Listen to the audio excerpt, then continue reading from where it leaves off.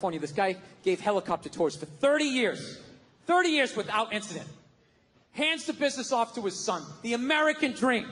I built it up for 30 years. Here you go, son. Make the family and the family name proud. All right, Dad, I love you. Right? This poor kid, five days in. He's supposed to give a tour to a couple. Only the dude shows up. The kid thought it was weird, but he's like, I need the money. I got to give him a tour. Right? So he takes this guy up. 10 minutes into the tour, the dude fucking jumped out. Yeah.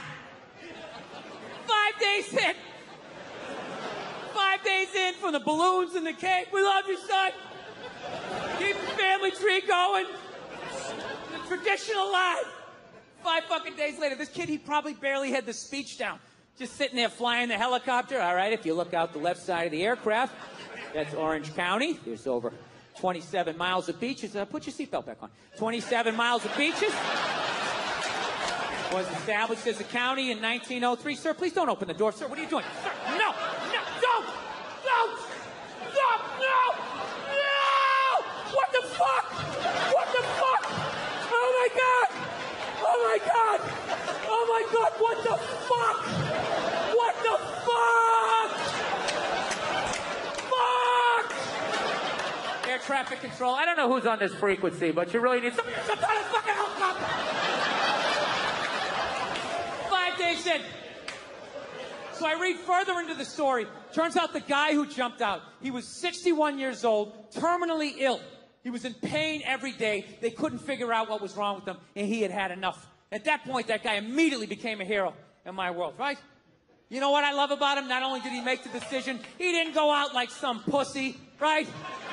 Handful of pills, watching a romantic comedy, wrapped in an Afghan that Nana made. Fuck that. Guy went out like a man. Take me up in a chopper. I'm looking at the land I love, and then I'm jumping out like a superhero. I loved it. Yeah. This guy, this guy should have been wearing a fucking cape. I can't imagine how elated he must have been on that helicopter ride up after finally, you know, just taking back control of his life. Like, fuck you, disease. I decide. You know, ripping tubes out, gets a burger, shotguns a beer, take me up in the chop. He probably had his fucking foot on the dashboard. You know, he's not even listening to this guy giving the tour, right? Over over 27 miles of beaches. Put put your seatbelt back on. Established as a county in 1903. Sir, please don't try to open the door. No, no, don't, don't, don't, don't.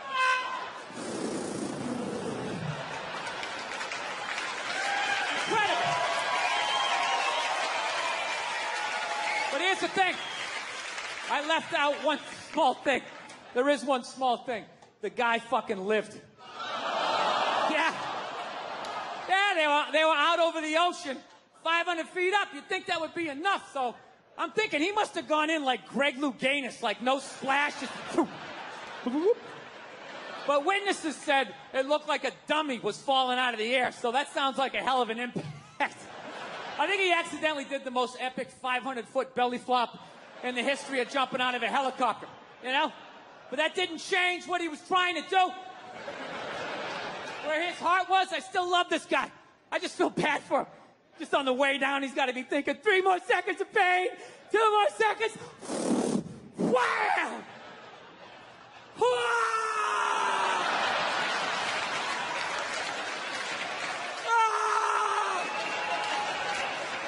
My God, this is worse! This is way worse! It has a happy ending, though. He later died at the hospital. That's right. So here's to him.